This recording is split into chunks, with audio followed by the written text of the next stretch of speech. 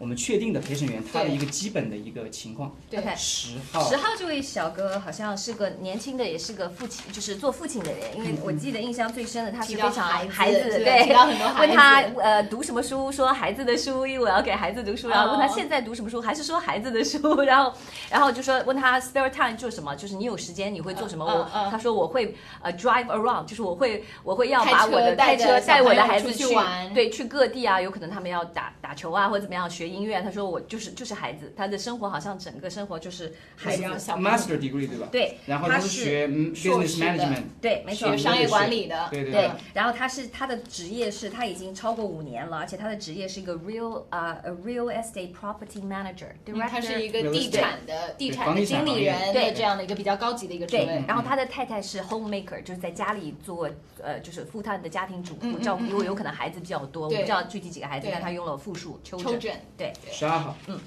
然后十二号是一个比较可以说是一个比较成功人士哈，因为他是也是毕呃就是本科学历，然后他现在的职务刚刚做了六个月的职务呢是副总裁，是什么呢？是 investor relations relations，就是投资人关系人。关系的这样一个副总裁对。对然后那个法官就问他你之前做什么？因为只有嗯六个月嘛，嗯嗯他说之前呢他做这个 stock analyst，就是说他买股票。分析，对股票分析做了九年，OK，然后他的太太也是一个比较白领的这样的一个，他的太太是在银行做人力资源管理的一个头头嗯嗯，OK，嗯所以他最喜欢读的就是你昨天有分享到的这个 Wall Street Journal，嗯，这个人他比较喜欢看 Wall Street Journal，所以我相信他一定有读到，有可能他有没有。说过？有没有说过？法官问他平时干什么？他说他 work a lot。对他 忘了，他就他是工作 工作狂，工作狂对他因为这样的职务有可能非常 demanding，所以他就一直工作了很多。对，然后是12个副总裁号。OK，对对，然后三十四号女性，对，三十上是唯一的一位，就是三位里面的一位女性。嗯然后这一位好像她是也是呃呃是一个呃，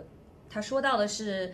呃，是一个，也是一个管理人员，他是一个 director of PhD，、好像是政府的一个部门的一个是 housing 什么 housing 什么 department，、我忘了那个嗯 P 是什么。然后他嗯是政府一个部门的一个管理人员，然后他的这个 significant，他的呃就是另外一半他没有结婚，但是他另外一半对，嗯。也是退休了。以前呢是做这个 construction 的，就是建筑呃建筑建筑方面对，然后他说他平时喜欢读这个比较浪漫的，对爱情。romantic 的东西，小说浪漫的东西，然后没事情呢，喜欢玩 puzzle，就是 Puzzle，puzzle 拼呃图拼图，对拼图拼图。然后是跟跟家人一起度过，这这是三十四嗯，第三个号嗯陪审。陪审今天的三个陪审员的一个情况，就是海选的头三名嘛，就是海选。